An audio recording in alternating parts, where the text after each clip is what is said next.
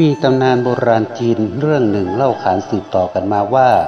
มีสัตว์ร้ายตัวหนึ่งซึ่งมีความดุร้ายมาก และชอบออกอารวาสทำร้าย และกินชาวบ้านเป็นประจำ เจ้าสัตว์ที่ว่านี้หัวมันจะเป็นขนรกรุงรัง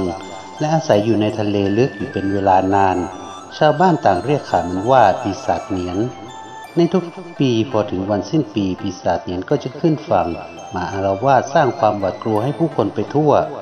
ดังนั้นเมื่อถึงวันสิ้นปีผู้คนในหมู่บ้านบนภูเขา ก็จะหอบลูกจูงหลานเข้าไปในหุบเขาลึก เพื่อซ่อนตัวไม่ให้ปีศาจมาทำร้ายได้ แต่บ้างก็ว่าผู้คนจะพากันปิดประตูหน้าต่างอย่างแน่นหนา และเก็บกักอาหารไว้ภายในบ้านเพื่อป้องกันไม่ให้ปีศาจบุกเข้ามาได้ ต่อมาก็พบว่าปีศาจเหนียนนี้มันก็มีจุดอ่อนอยู่เหมือนกัน เมื่อมีอยู่ครั้งหนึ่งเจ้าปีศาจเหนียนได้ไปยังหมู่บ้านหมู่บ้านหนึ่ง ก็ไปเจอเข้ากับกลุ่มเด็กกำลังเล่นหวดแท้กันอยู่ เมื่อตัวเหนียนได้ยินเสียงแท้ก็เกิดตกใจ เพ่นหนีไป และเมื่อปีศาจเหนียนได้ไปยังอีกหมู่บ้านหนึ่ง ก็เห็นว่ามีชุดเสื้อผ้าสีแดงตากเอาไว้ที่หน้าบ้านของครอบครัวครอบครัวหนึ่ง สีแดงที่ดูสูดฉาดนั้นก็ทำให้เหนียนตกใจ เพ่นหนีไปอีกและเมื่อเจ้าปีศาจเหนียนไปถึงหมู่บ้านที่สามก็พบกับกองไฟกองหนึ่งเข้า แสงไฟอันเจิดจ้าในกองนั้นก็ทำให้เจ้าปีศาจเหนียนกลัวขึ้นมาอีก เพ่นแนบไปเลยคราวนี้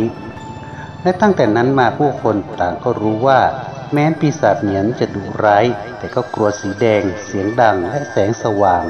ทำให้ผู้คนสามารถคิดค้นหาวิธีกำจัดปีศาจเหนียนได้ไม่ยากนัก และเมื่อวันสิ้นปีเวียนมาถึงอีกครั้งหนึ่ง ทุกครัวเรือนจึงได้นำเอากระดาษสีแดงมาติดไว้ที่บนประตูบ้านหรือหน้าบ้าน และแขวนโคมไฟสีแดง พร้อมกับจุดประทัด และตีของรัวกองอย่างต่อเนื่อง เมื่อปีศาจเหนียนมาถึงในตอนเย็นเห็นทุกบ้านมีแสงไฟส่องสว่าง และก็มีเสียงประทัดดังสนั่นวันไหวเช่นนั้นก็ตกใจใหญ่ เห็นแนบเข้าป่ากลับลงทะเลไปเลย และไม่กล้าออกมาอารวาสอีก ทุกผู้คนจึงผ่านคืนอันตรายนั้นไปได้ด้วยความปลอดภัย และเมื่อฟ้าสางแล้ว ต่างก็พากันออกมาจากบ้านหรือที่ซ่อนตัว มักกล่าวคำอวยพรกันอย่างมีความสุข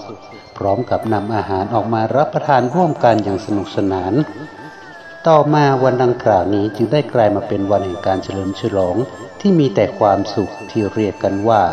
วันตรุษจีนนั่นเองครับผม